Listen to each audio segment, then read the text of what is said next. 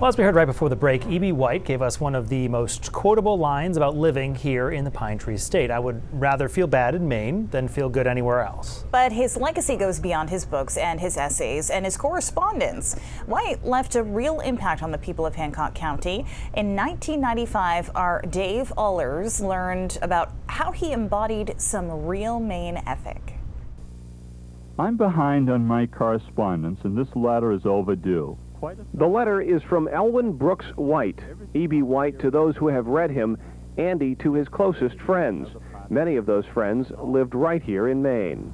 Uh, White had become an established literary figure by the time he moved here. His uh, columns were read by people in big cities, people for whom rural life was exotic. White was their tour guide, writing about the pigs, geese, chickens, and other inhabitants of his farm in Brooklin. His neighbors looked upon him with reverence and respect.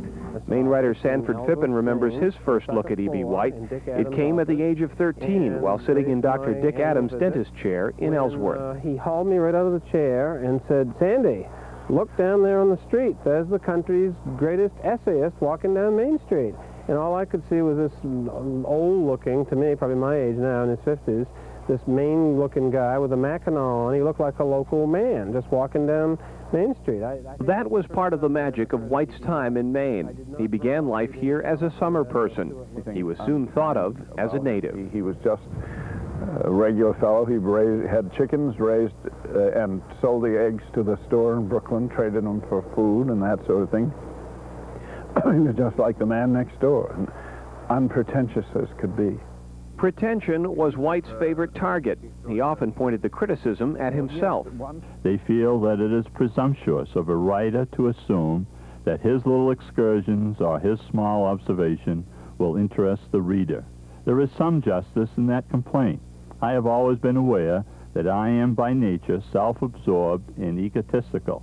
To write of myself to the extent I have done indicates a too great attention to my own life, not enough to the lives of others. The criticism was unwarranted. E.B. White's life was spent calling our attention to important issues. Oil, unemployment, nuclear power plants, the spruce budworm, the SST, land use and zoning, the plight of the small hospital. E.B. White is regarded as a Maine writer, and yet in the truest sense of the phrase, he is not. White was born in New York. He spent his summers on the Belgrade Lakes as a boy. He first moved to his farm in North Brooklin in 1938, packing his Underwood typewriter and a keen appreciation of what it meant to be a citizen of Maine. It included a clear view of the lighter side. His humor was a lot like the Maine humor, you know, that we grew up with. The way Maine people were the same way. They were irreverent, too. Another uh-huh. day, I found myself on a sofa between the chip of wood gnawed by the beaver and an ornery hood I had once worn in an academic procession. What I really needed at the moment was the beaver himself to eat the hood. I shall never wear the hood again, but I have too weak a character to throw it away, and I do not doubt that it will tag along with me to the end of my days, not keeping me either warm or happy, but occupying a bit of my attic space.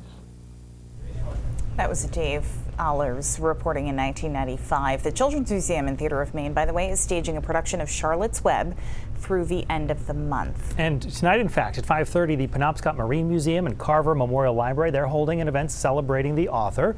You are encouraged to bring your favorite reading to share and, of course, a picnic dinner to enjoy on the property there.